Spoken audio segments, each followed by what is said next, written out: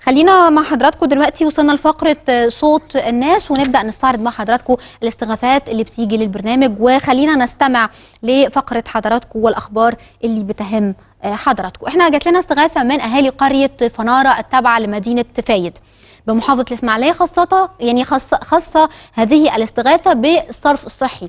بعد أن أسند إليها مشروع الصرف الصحي بالقرية وده منذ عام 2016 آه وحتى تاريخه لم يتم الاستكمال.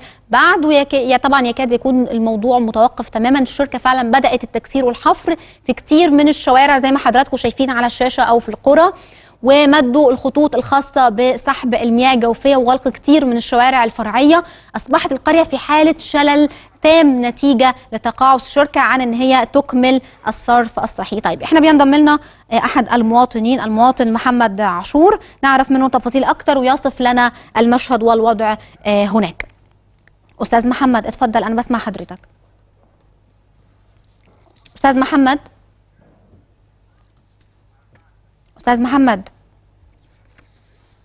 طيب إحنا أستاذ محمد مش معانا؟ طيب خلينا نعيد الشكوى مرة أخرى إن هذه الاستغاثة جات لنا من أهالي قرية فنارة. آه وتابعة لمدينة فايد في محافظة آه الإسماعيلية إن المفروض في شركة جت بدأت إن هي تاخد خطوات مشروع الصرف الصحي وبدأت بالفعل بالحفر في المناطق هناك ولكن في النهاية ما أكملتش. الكلام ده من 2016 هذه الشركة لم تكمل عملها حتى الآن وحصل حالة من حالات التوقف والشلل التام في آه القرية. الناس مش عارفة تتحرك مش عارفة تروح أشغالها مش عارفة تمشي في الشوارع. دي الصور اللي أرسلت إلى البرنامج وحبينا إننا نعرض هذه المشكلة. بينضم لنا أستاذ محمد عاشور. يا أستاذ محمد مساء الخير. اتفضل.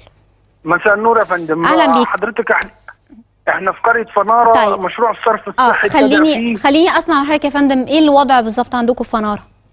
مشروع الصرف الصحي ابتدى فيه شغل في قرية فنارة من أواخر 2015 مهم، مهم. تمام. والمفروض إن هو هيتسلم في شهر 3 2017 آخر مرحلة مم. إحنا النهارده في أول 2017 ولسه في مناطق كتير في القرية ما دخلش فيها الصرف الصحي ولا اشتغلوا بسبب التوقف بتاع ال- المشروع يعني يعني هم معطلين باقي القرى كمان مع معطلين زي ما انت شايفة في الصور عند حضرتك الشوارع كلها متكسرة بيارات الصرف الصحي أعلى منسوبها طيب، عالي طيب. في الشوارع. والناس بالليل بت- بتقع فيها طيب خلينا خليك معانا يا أستاذ محمد. إحنا بينضم لنا سيادة اللواء علاء رشاد رئيس مجلس المدينة. يا سيادة اللواء مساء الخير. يا فندم إحنا بنتكلم يا فندم عن مشكلة الصرف الصحي في قرية فنارة وإن الوضع والحالة فيها شلل والناس مش عارفة إن هي آه، تتعامل ولا يعني في حالة توقف في باقي كمان ال- المناطق مش عارفين يبدأوا في آه، الصرف الصحي الخاص بيهم.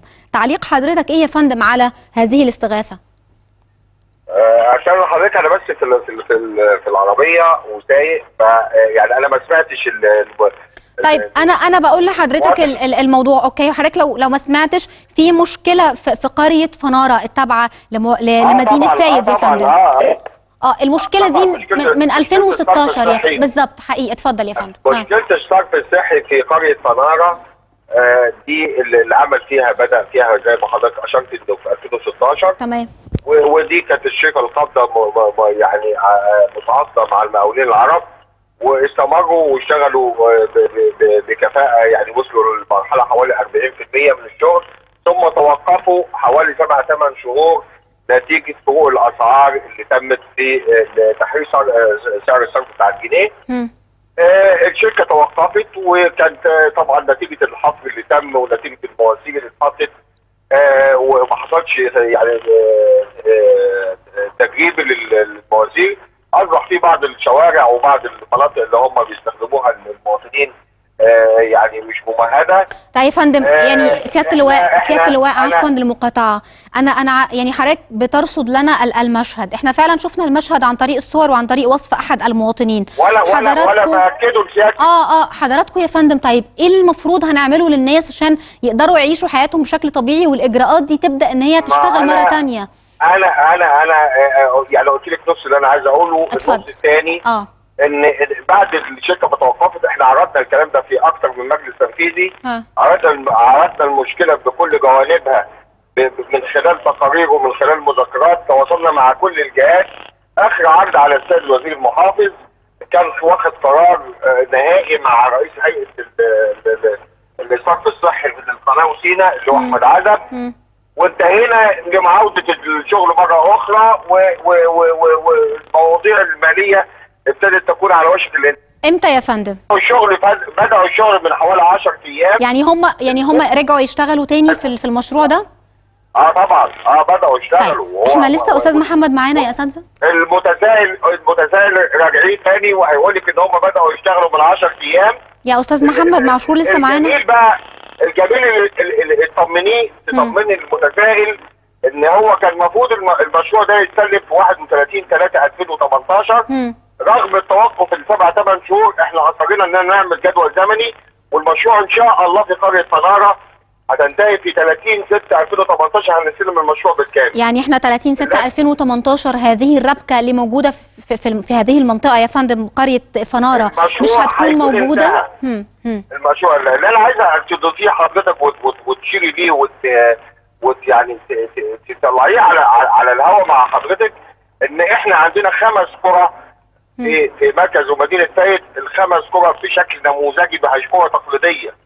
إحنا عندنا قرى دخل فيها صرف صحي من 88 عندنا في قرية أخرى دخل فيها صرف صحي من 97 طيب إن شاء الله إحنا هنستكمل هنستكمل قرية فنارة ب 30 6 2018 طيب وهيبقى هيبقى فاضل قرية نصها فيها صرف صحي والنص الآخر هيتم طيب سيادة سيادة اللواء أنا أنا أنا بشكر حضرتك طبعا وإحنا بنقدر ده.